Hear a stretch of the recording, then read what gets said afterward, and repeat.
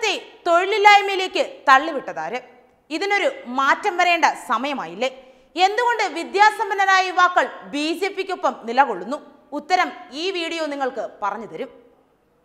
പുറത്തൊക്കെ പോയി പഠിച്ചു വന്നിട്ട് എന്താടാ കാര്യം? ഈ കേരളത്തിൽ എന്തെങ്കിലും തൊഴിൽ സാധ്യത ഉണ്ടോ ഇത്രയും പൈസ മുടക്കി പഠിപ്പിച്ച അച്ഛനും അമ്മയും ഫേസ് ചെയ്യാൻ തന്നെ എനിക്ക് ചമ്മലാകുന്നു നമുക്ക് വേണ്ടത് മോദിജിയെ പോലുള്ള സത്യസന്ധരായ നേതാക്കളെയാണ്. ഇന്ന് അങ്ങനെയുള്ള നേതാക്കൾ ബി ജെ പിയിൽ മാത്രമാണ് ഉള്ളത് അതുകൊണ്ടാണല്ലോ സമൂഹത്തിൽ സത്യസന്ധതയ്ക്ക് പേരുകേട്ട ആൾക്കാരൊക്കെ ബി ജെ പി ചേരുന്നത്. കേരളത്തിലും വരണം ബി ജെ പി.